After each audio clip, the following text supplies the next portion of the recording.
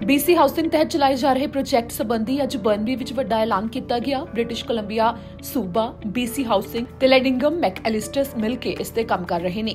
ਜਿਨ੍ਹਾਂ ਵੱਲੋਂ ਅੱਜ ਸੀਡਰ ਪਲੇਸ ਤੇ 90 ਅਫੋਰਡੇਬਲ ਅਪਾਰਟਮੈਂਟ ਪਰਿਵਾਰਾਂ ਦੇ ਲਈ ਖੋਲ ਦਿੱਤੇ ਗਏ ਨੇ ਤੇ 91 ਘਰਾਂ ਦੇ ਨਿਰਮਾਣ ਦਾ ਕੰਮ ਅੱਜ ਆਰੰਭ ਦਿੱਤਾ ਗਿਆ ਹੈ। ਮੈਨੂੰ ਬੜੀ ਖੁਸ਼ੀ ਹੈ ਕਿ ਅੱਜ ਅਸੀਂ ਬਰਨਬੀ ਦੇ ਵਿੱਚ ਸੀਡਰ ਪਲੇਸ ਜਿਹੜੀ ਇੱਕ ਜਗ੍ਹਾ ਹੈ ਇੱਥੇ 14 ਐਵਨਿਊ ਦੇ ਉੱਤੇ, ਉਹਦੀ ਜਿਹੜੀ ਅਫੋਰਡੇਬਲ ਹਾਊਸਿੰਗ ਦੀ ਅਨਾਉਂਸਮੈਂਟ ਕਰ ਰਹੇ ਹਾਂ। ਇਹ ਇੱਕ ਜਗ੍ਹਾ ਸੀ ਜਿਹੜੀ ਕਿ ਅੱਜ ਤੋਂ 40-50 ਸਾਲ ਪਹਿਲਾਂ ਬਣਾਈ ਗਈ ਸੀ ਟਾਊਨ ਹਾਊਸਸ ਉਹ ਕਾਫੀ ਪੁਰਾਣੇ ਹੋ ਗਏ, ਉਹਦੀ ਮੇਨਟੇਨੈਂਸ ਵੀ ਬਹੁਤ ਜ਼ਿਆਦਾ ਸੀਗੀ, ਜਿਹੜੇ ਇੱਥੇ ਸੀਨੀਅਰਸ ਰਹਿੰਦੇ ਨੇ ਜਾਂ ਜਿਹੜੇ ਲੋ ਇਨਕਮ ਪੀਪਲ ਰਹਿੰਦੇ ਸੀ, ਉਹਨਾਂ ਦੀ ਹੈਲਪ ਕਰਨ ਵਾਸਤੇ ਅਸੀਂ ਜਿਹੜੀ ਇੱਥੋਂ ਦੀ ਇੱਕ ਕੰਪਨੀ ਆ ਲੈਡਮੈਕ ਉਹਨਾਂ ਨਾਲ ਰਲ ਕੇ ਨਵੀਂ ਬਿਲਡਿੰਗ ਬਣਾ ਰਹੇ ਹਾਂ।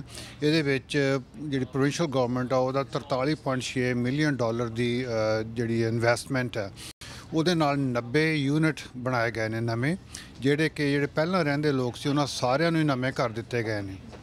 ਜਿਹੜੀ ਸੈਕੰਡ ਫੇਜ਼ ਆ, ਜਿਹੜਾ ਇੱਥੇ ਪੁਰਾਣੀ ਬਿਲਡਿੰਗ ਸੀ, ਉਹਨੂੰ ਢਾਹ ਕੇ 91 ਹੋਰ ਯੂਨਿਟ ਬਣਾਏ ਜਾਣਗੇ, ਤਾਂ ਕਿ ਹੋਰ ਵੀ ਲੋਕ ਜਿਹੜੇ ਲੋ ਇਨਕਮ ਲੋਕ ਨੇ ਜਾਂ ਜਿਨ੍ਹਾਂ ਦੀ ਜਿਹੜੇ ਸੀਨੀਅਰਸ ਨੇ, ਉਹਨਾਂ ਨੂੰ ਵਾਸਤੇ ਜਿਹੜੇ ਇੱਥੇ ਬਰਨਵੀ ਦੇ ਵਿੱਚ ਅਫੋਰਡੇਬਲ ਹਾਊਸਿੰਗ ਵੱਧ ਤੋਂ ਵੱਧ ਉਹਨਾਂ ਨੂੰ ਮੁਹੱਈਆ ਕਰਵਾਈ ਜਾ ਸਕੇ। ਵਿਧਾਇਕਾਂ ਬਰਨਬੀ ਦੇ ਮੇਅਰ ਕੰਸਟਰਕਸ਼ਨ ਕੰਪਨੀ ਦੇ ਅਧਿਕਾਰੀ ਸਭ ਨੇ ਮਿਲ ਕੇ ਅੱਜ ਨਵੇਂ ਬਣਾਏ ਜਾਣ ਵਾਲੇ ਘਰਾਂ ਦੇ ਲਈ ਉਦਘਾਟਨ ਵੀ ਕੀਤਾ। ਵਿਧਾਇਕ ਤੇ ਬ੍ਰਿਟਿਸ਼ ਕੋਲੰਬੀਆ ਦੇ ਡਿਪਟੀ ਸਪੀਕਰ ਰਾਜ ਚੌਹਾਨ ਨੇ ਟੀਵੀ ਪੰਜਾਬ ਨਾਲ ਖਾਸ ਗੱਲਬਾਤ ਕਰਦੇ ਹੋਏ BC ਹਾਊਸਿੰਗ ਵੱਲੋਂ ਰੱਖੇ ਗਏ ਟੀਚੇ ਦੇ ਬਾਰੇ ਦੱਸਿਆ।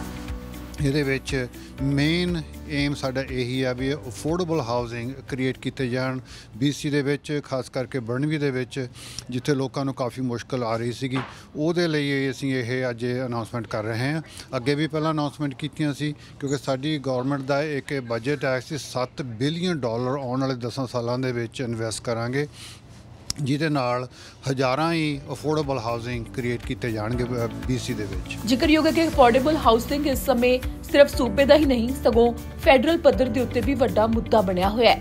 ਅਜਿਹਾ ਮੁੱਦਾ ਜੋ 2019 ਦੀਆਂ ਚੋਣਾਂ ਲਈ ਹੋ ਰਹੇ ਪ੍ਰਚਾਰ ਦਾ ਵੀ ਖਾਸ ਹਿੱਸਾ ਬਣ ਰਿਹਾ ਹੈ। ਕੈਨੇਡਾ ਭਰ ਵਿੱਚ ਇਸ ਸਮੇਂ ਅਫੋਰਡੇਬਲ ਹਾਊਸਿੰਗ ਇੱਕ ਵੱਡੀ ਚੁਣੌਤੀ ਬਣੀ ਹੋਈ ਹੈ।